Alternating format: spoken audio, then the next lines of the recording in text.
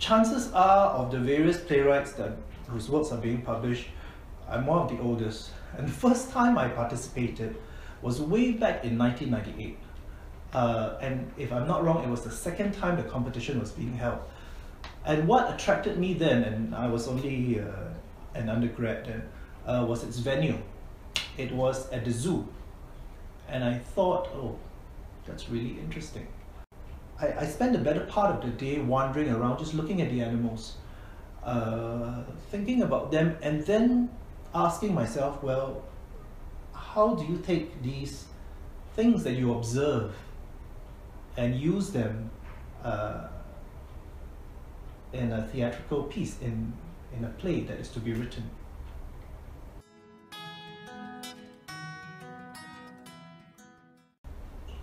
The venue changes every year. Participants may change, although many go back very regularly. Um, in all the four times that I participated, uh, the game master Robin Loon remained the same. What I found consistent about it throughout those many years was that uh, there's, there's always a sense of fun. Yes, there's a healthy sense of competition, but it's also about a group of people who are there for a weekend, we're stuck in a certain place, let's try and have a little bit of fun. And I think um, that's also one of the major reasons why I really enjoy the competition because writing, whether it is playwriting or other forms of fiction, uh, can be a very lonely, isolated experience. And while solitude is necessary for writing, sometimes you just want to hang out with your friends too right? Sometimes you just want to catch up with some people you know, uh, and this competition gave me the chance to do so.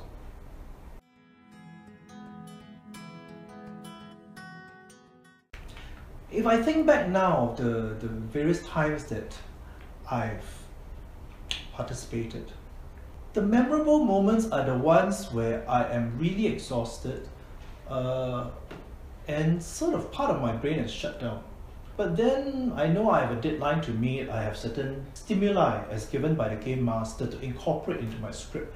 And um, I need to tap into a, a part of myself that isn't about logic or rationality, uh, to find some connection, to find some way in that sleep deprived, semi haze, uh, and, and mental state try and make some sense of it all.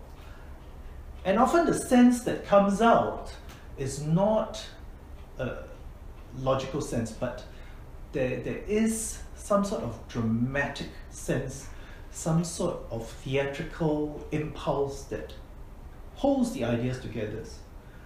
Together, and um, I I remember those moments the most because you know that if you were comfortably rested, you were well awake, well, at least I knew that I would probably not be able to write in this way.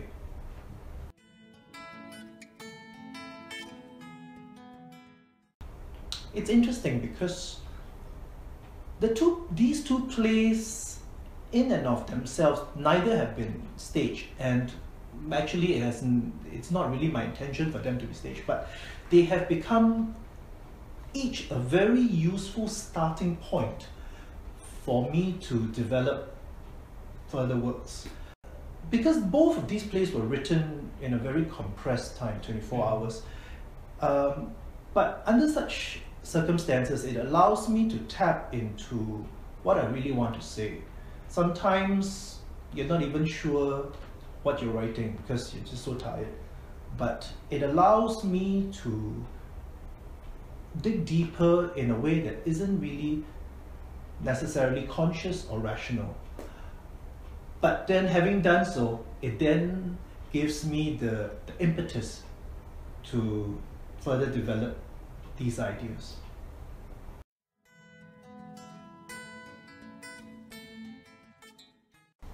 I think it's great. Uh, I, think uh, it's always nice to have these plays and beyond uh, my two plays, the fact that all these various 24 hour plays uh, are being published, I think it, uh, it's a very useful exercise because most of these plays will never see the light of day otherwise, right? Uh, most of them would not be performed or pre- presented in any way, at least to a broader audience.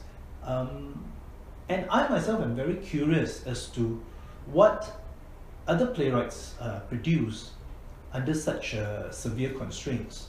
You know, I'm I'm interested to see what it's like because very often, uh, under pressure, um, very great creativity can arise.